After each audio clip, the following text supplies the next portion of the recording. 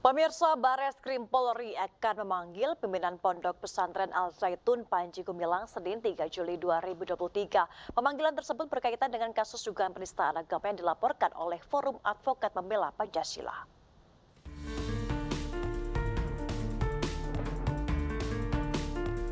Badan Reserse Kriminal Polri menjadwalkan pemanggilan pimpinan Pondok Pesantren Al Zaitun Panji Gumilang terkait kasus dugaan penistaan agama.